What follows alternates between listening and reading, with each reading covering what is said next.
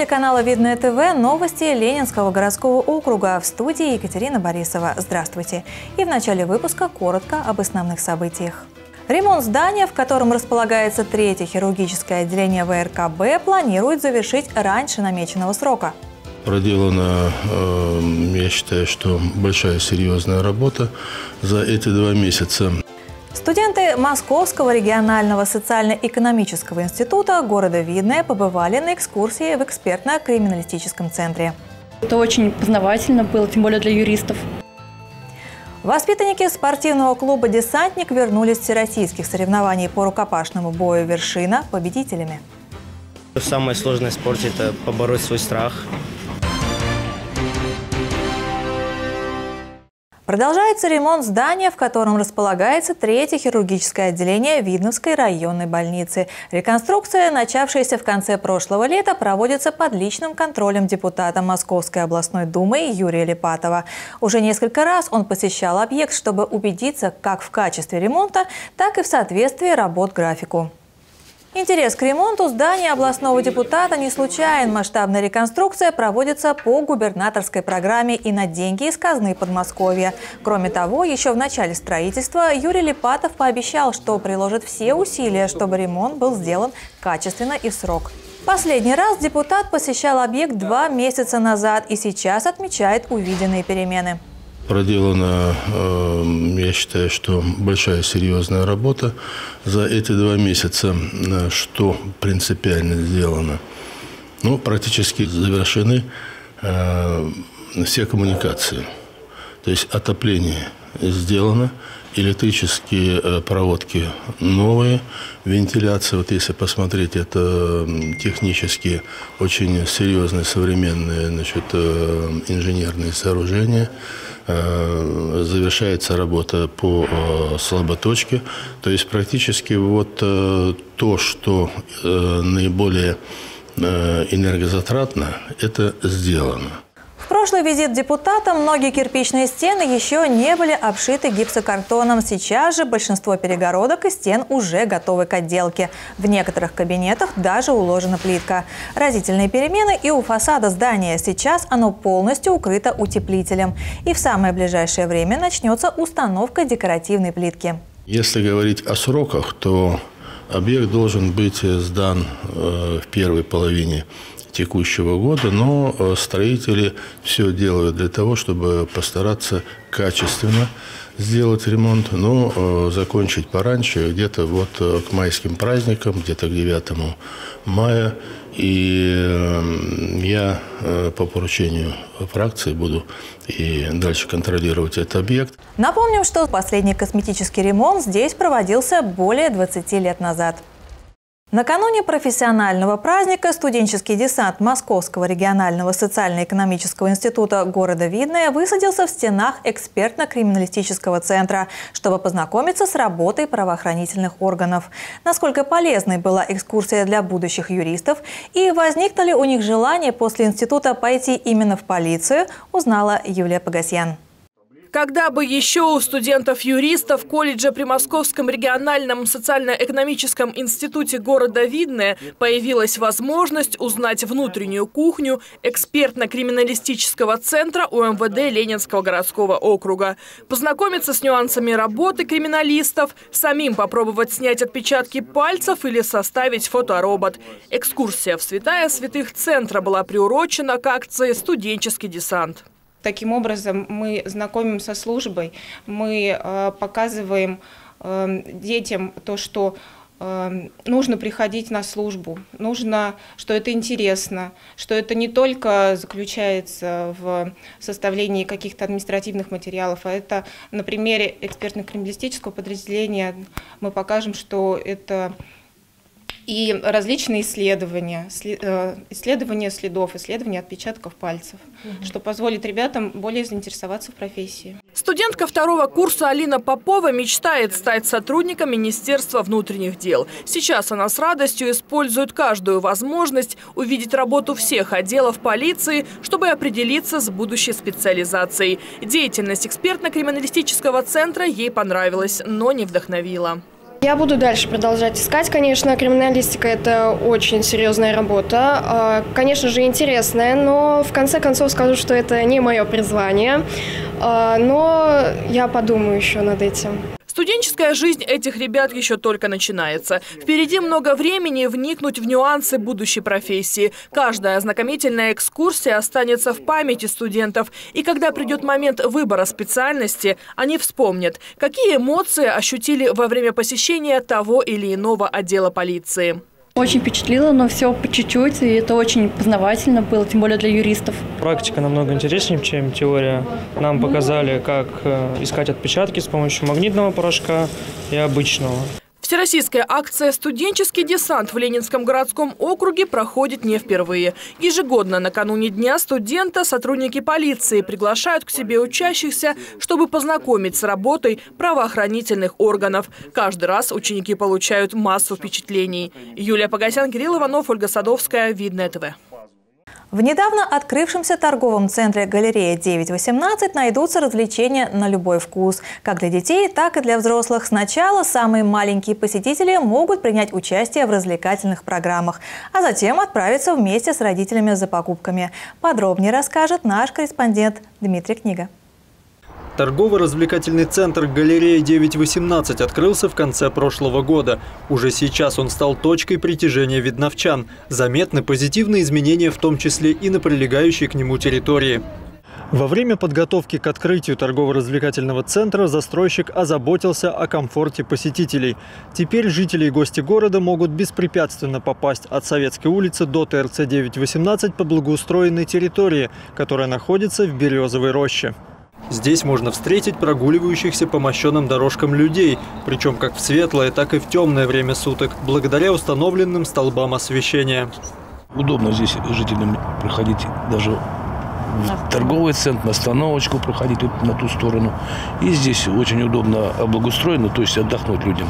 Детская площадочка, береза, природа. То есть очень хорошо. Для детей в Березовой роще оборудована современная игровая площадка. Стоит отметить, что все объекты сделаны из безопасных материалов. Прошло всего несколько месяцев после установки, а на площадке уже появились постоянные посетители. Замечательно. Была грязь, лес, а сейчас дети вон бегают, играют. Здорово. Я думаю, видно вот результат. Дети здесь, дети играют, детям нравится. Все хорошо. Нам понравилось. Интересные препятствия ребенок увлекся. Кроме того, руководство галереи 918 по выходным проводит развлекательные программы. На этот раз с участием любимых героев малышей – трансформеров. Вместе с роботами ребята танцевали, перетягивали канат и принимали участие в самых разных конкурсах. Мы давно никуда не выбирались и увидели в Инстаграме, что будет, и прям специально приехали. Очень нравится. В это время на первом этаже ТРЦ аниматоры также развлекали юных гостей – Дети играли, пока родители задумывались, куда им пойти – в магазин или в кинотеатр «Киноград», чтобы посмотреть новинки кинопроката. Здесь мероприятия, да, проводятся, я так поняла, и открытия, и для развития, и для деток, и для взрослых очень развлекательный центр. Здесь он большой, здесь можно погулять в выходные и всякое такое. Уже скоро здесь откроются все магазины, и проводить время в торгово-развлекательном центре станет не только интересно, но и удобно. Ведь многие необходимые покупки можно будет совершать, не выезжая из города. Дмитрий Книга, Сергей Ларин, Елена Кошелева, Видное ТВ. Скучать и болеть некогда, ведь в жизни столько интересного. Таков девиз героини нашего следующего сюжета, участницы программы «Активное долголетие», подопечной Центра социального обслуживания «Вера» Марии Ефимовны Козловой. Она рассказала нашей съемочной группе о любимых занятиях и поделилась персональным секретом молодости. Ее день расписан буквально по минутам. Скандинавская ходьба, танцы, песни, мастер-классы. День обычной пенсионерки, участницы программы «Активное долголетие» Марии Ефимовны Козловой. Сложно поверить, но этой моложавой эффектной женщине уже или еще 89. Вот уже много лет ее день начинается в 8 утра. Но не для того, чтобы пойти на работу или сидеть с внуками. 9 часам вот приходим в Веру.